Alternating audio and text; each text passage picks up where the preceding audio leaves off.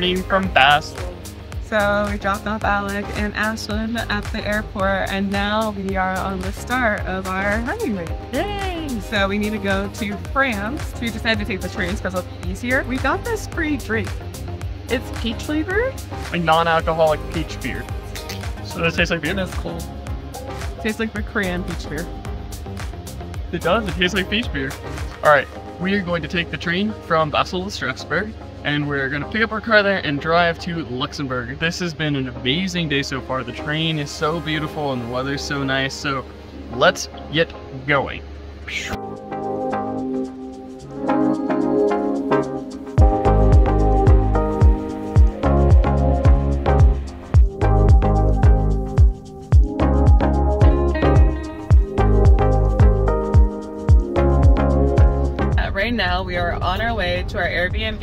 We stopped at the gas station and just got some chips and M&Ms because we haven't eaten all day and basically the gas station has nothing.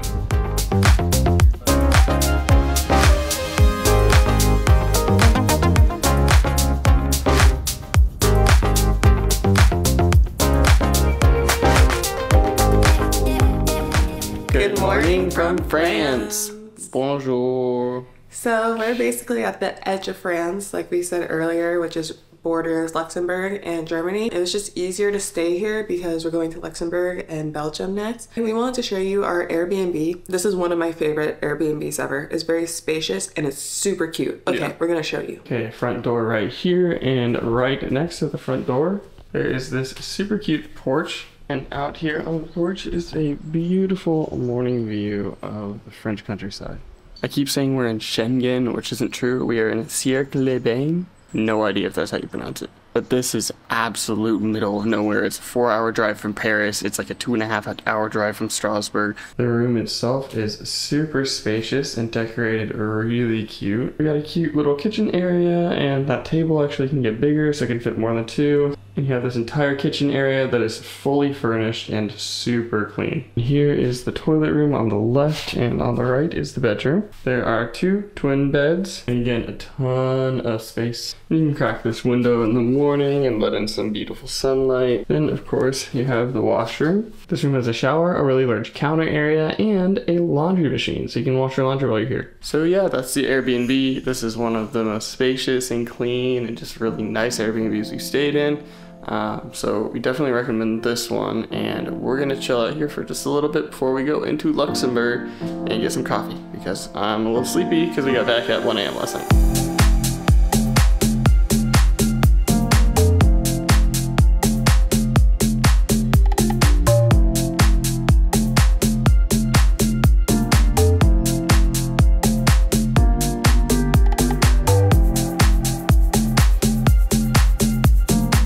Okay, so we are here in Luxembourg, the city of Luxembourg, in Luxembourg. And we decided to get some specialty coffee first. So the coffee shop that we wanted to go to, they're closed right now for a little bit of a holiday, so we decided to go to Bloom. And we tried it and it was good, Okay. but we've been to so many specialty coffee shops where this one was kind of mid. It wasn't bad, but it wasn't like amazing. So Luxembourg is a very small country, and there's not a lot of coffee, but it's okay. It's really cute and really pretty, and one of the things we're getting ready to go see is very pretty. It is Chateau de Vianden. I don't know how to pronounce it, but it's a castle that we're gonna go see an hour drive north, then we're gonna come back down and spend the rest of the day in Old Town Luxembourg. So let's go explore. Okay, we are currently at Chateau de Vianden. Again, don't know how to pronounce it. It's on the north side of Luxembourg. It's tucked away in this beautiful valley. The drive was amazing, so gorgeous. This town is so cute.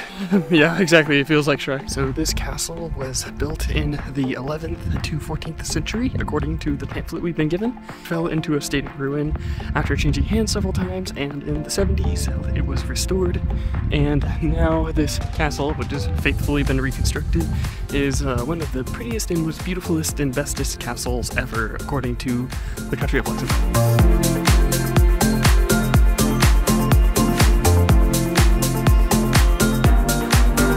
All of this is ceramics that would have been found in this sort of place.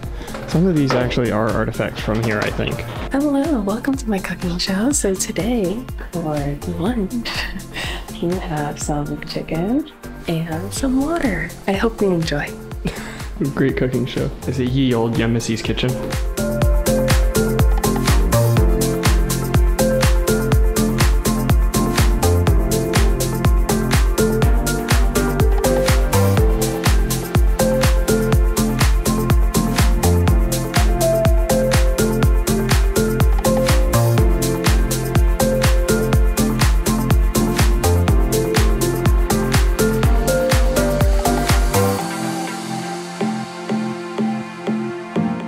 Okay, so the castle was really interesting. Honestly, I didn't know what we were getting into when we saw it.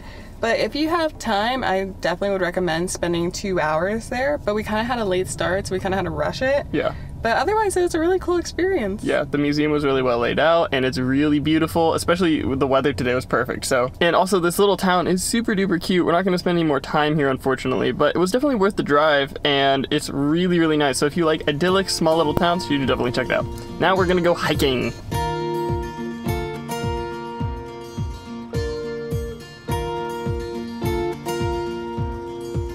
Okay, we are currently at Mueller Mueller Mullerthal. This is a trail here in the middle of Luxembourg, and it's right next to a river, down in these beautiful hills. This is the most relaxing country I think I've ever been to.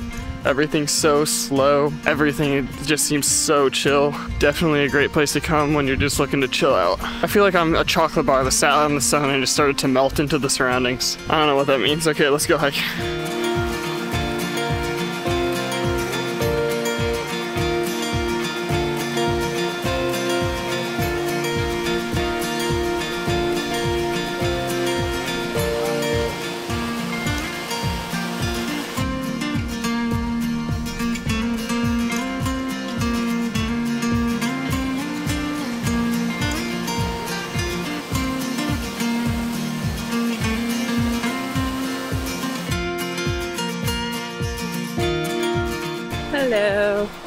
So we did a very short hike, and it probably is about maybe like 45 minutes. But we just wanted, you know, it's just to enjoy the nature and just take that little walk because we did a lot of hiking recently and we don't want to kill ourselves because we have a full day tomorrow. Luxembourg is just really relaxing. I feel calm.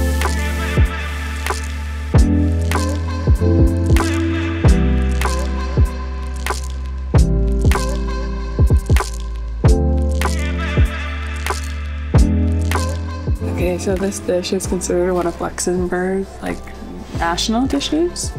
So like I said, it's like a flour dumpling with cream sauce and some bacon. So let's try. It's good. Mind blowing. It's good though. Okay, well that was traditional Luxembourg food. It was good.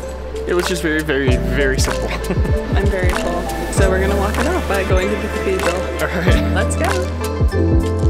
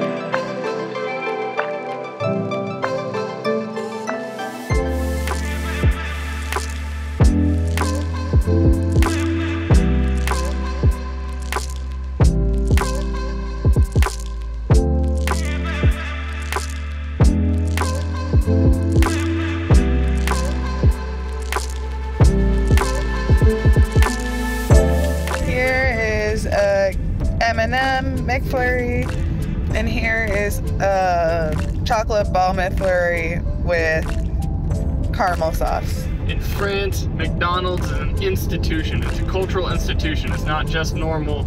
And there's like a bakery inside, and there's like a cafe. It's like so much more uh, high quality and like interesting. It's like a sit-down actual restaurant. It's called McDo. We're gonna eat the McFlurries now, and we will do a food review when we get back to the Airbnb. Bon appetit. Bon appetit. Okay, here is the McDo haul. I get my usual, a double cheese. It really does look like a burger. That's There's no sesame seeds. How much alike does it taste like? Does it taste like a double cheeseburger? It tastes like a double cheeseburger. That's like I'm not sure we can define what McDonald's is well made, but like somebody just didn't slop it together. Yeah. I got a blue cheese bacon burger. And this has been sitting in the car for about 20 minutes on the way home, so I don't know. It tastes like McDonald's, but especially compared to American McDonald's, it's really good. I guess that's all for us for Luxembourg. I hope you guys enjoyed the vlog. Stay tuned because we're going to Belgium. Alright, we'll see you in Belgium.